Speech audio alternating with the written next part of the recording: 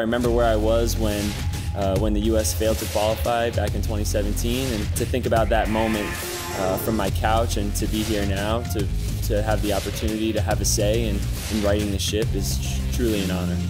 I'm really excited, and you know, people are saying congratulations, uh, but there's still a long journey ahead. So uh, I understand that this is just a small step in our journey, but it's a, it's a big moment for U.S. soccer, and, and I'm excited to be a part of it. To win the Gold Cup, to win you know the Golden Glove in that tournament, those were things that made me feel things that I'd never felt before. So uh, yeah, it's like an addictive kind of thing. You wanna you wanna be part of the national team, you want to wear the crest, you want to represent your country, and you want to put your best foot forward every time uh, you step out on the field. So all that really matters, though, we're talking a lot about the past and the Gold Cup, and, and all that stuff is written in the history books now, and all that matters is right here, right now, and this journey that we're about to set forth.